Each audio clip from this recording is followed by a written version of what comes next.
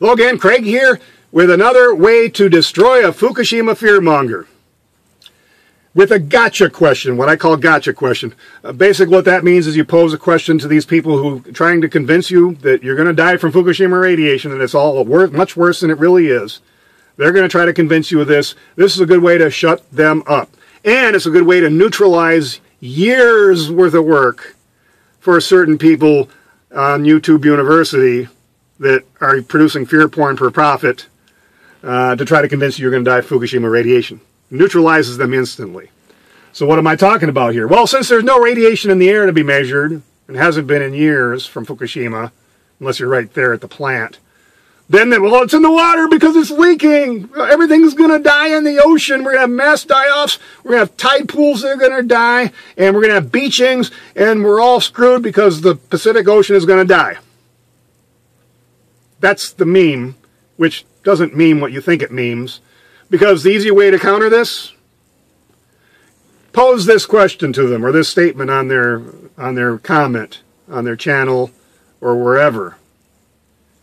Show me a peer-reviewed scientific paper showing radiation as being a causational factor of any kind of beaching, tide pool die-off, or marine mammal die-offs in, the, in any of the oceans. They're done. Dead in the water, so to speak. They got nowhere to go with that because all the papers, I'm going to link some of them below, all the papers have a lot of reasons that these things can happen, but the word Fukushima or radiation never appear in these papers.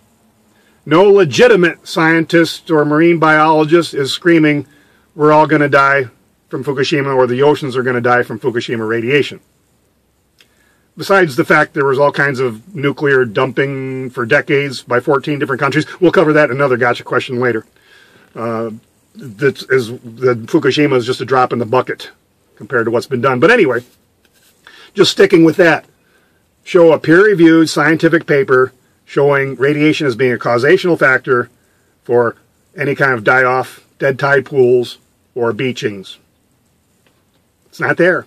So, what you will find in the literature, you'll find a lot of potential reasons. Uh, one of them, well, think about it, folks. Uh, things die, and things have died since the beginning of time, long before anybody knew what a Fukushima was. Aging, you know, old age, uh, injury, disease, illness. You float, and you might float to shore before you sink or before something eats you, and then, okay, you got a so-called beaching for some mysterious reason. They can usually always find out what those reasons are.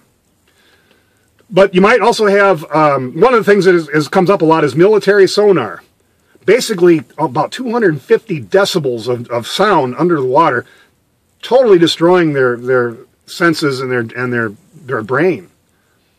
Uh, you might have uh, ones giving difficulty giving birth, temperature changes, uh, panic predator evasion, where they're trying to get away from a predator, or conversely, where they're hunting too close to shore.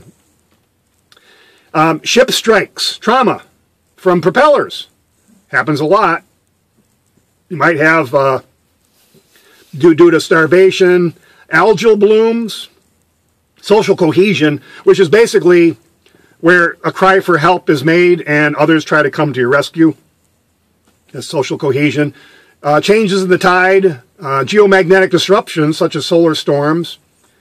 You might have uh, fishing net entanglements. That happens quite often. You might have navigational errors, maybe due to those solar storms. You could even have an ingestion of debris. We've had a famous case here just recently on that.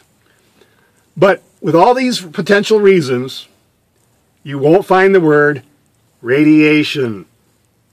You made that up and now you're stuck with it because you can't counter this. Give it a try. You see, that's an easy way to shut them down quickly. They'll move on to another topic, and we're going to be doing more in this series of the gotcha questions. And um, and if you also don't know about the other channel, check out the other channel. I'm going to link it here at the end, uh, where I have at this point in time about 20 very much alive tide pool videos right off the shore of Vancouver Island where somebody is in a boat right now trying to find dead tide pools to, to make you think that uh, You know, it, it's better money if we show a lot of dead things and maybe film places that have been dredged so you can see that, yeah, everything's dead. Because it makes more money, you see. Or we might film rocks in January at high tide to show everything's dead in California.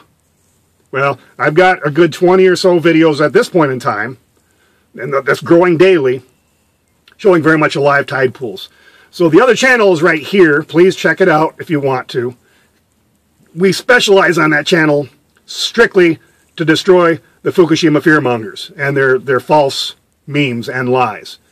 Thanks everybody for watching.